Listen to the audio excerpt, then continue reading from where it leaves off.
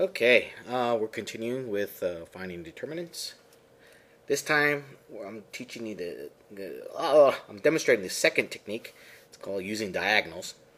Uh, we've already found a determinant of this, or have we? I don't know. Okay, all these numbers are running together to me. Anyways, okay, I'm going to stop mumbling now. Uh, when using diagonals, what we're going to do is, this is the original determinant we want to find, I'm sorry, this is the original matrix we want to find a determinant of. We're going to take the first two columns and copy them.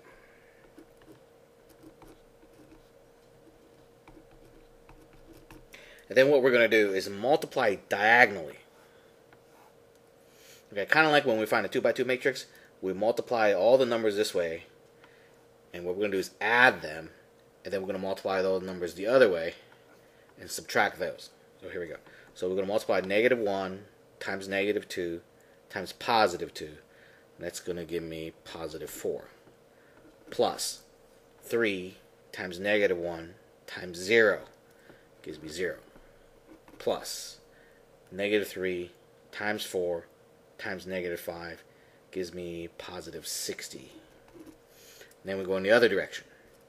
So we're going to go 0 times negative 2 times negative 3 is going to be 0, but I'm subtracting these. Not that it makes a difference with 0. Then we're going to go negative 5 times negative 1 times negative 1. So it's minus a negative 5. And minus. Then 2 times 4 times 3. That's going to be what? 24.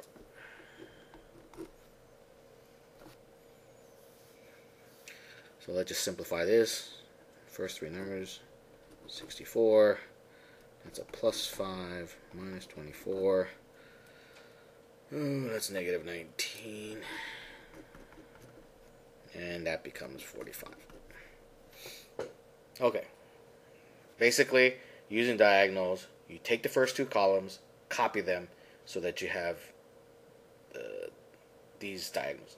So one, two, three, and then you add those, then go the other way. One, two, three. All right, let's do another example.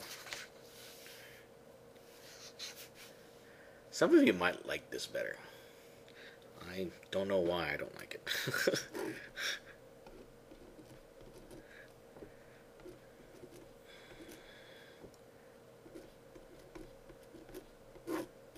Alright, that's the matrix we want to find a determinant of. We're going to need to copy the first two columns. 1, 3, 8, 1, 9, 7. Then we're going to multiply diagonally. 1 times 9 times 4, 36, plus 1 times 5 times 8 is 40. 1 times 3 times 7, 21. Now going the other direction, we're subtracting those. 8 times 9 times 1, 72. 7 times 5 times 1, 35. 4 times 3 times 1, 12. Work all that out. And what do we get? Well, here.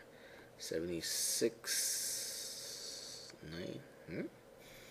76 plus 21 is 97. Is that right?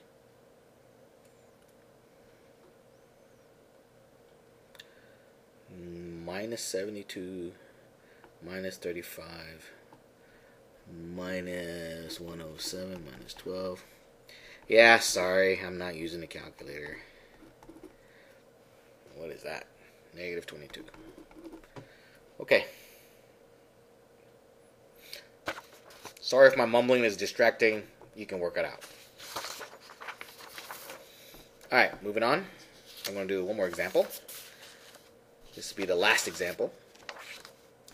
So if you, once I write the determinant, you can pause it and work it out on your own. See if you get the same answer I do.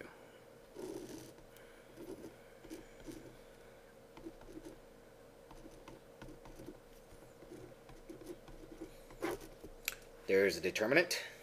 Go ahead, pause it, find the value. Okay.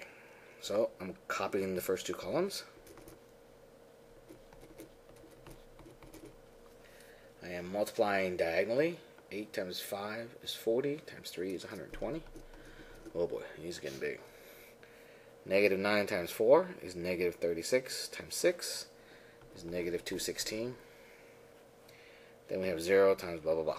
Well, 0 times anything is 0. Uh, remember that that's a plus negative. I got lazy and just wrote minus. Going this way, it's going to be 0. Negative. So it's a minus a negative 64. Minus a negative 27. So that's negative 96. The zeros don't contribute anything, and we got plus 64 and plus 27. And those two, we get 91, or negative 90, or positive 91. Sorry. Final answer, negative 5. That's it. If this looks familiar, it's because it was example 3 in the expansion by minors. Uh, you can now decide which technique you like better. I do suggest that you still learn the expansion by minors, even if you don't like that technique. That technique becomes useful when you do vectors, which is not covered in Algebra 2. Or is it? I don't know. I haven't thought of that far yet. Okay. That's it. Bye-bye.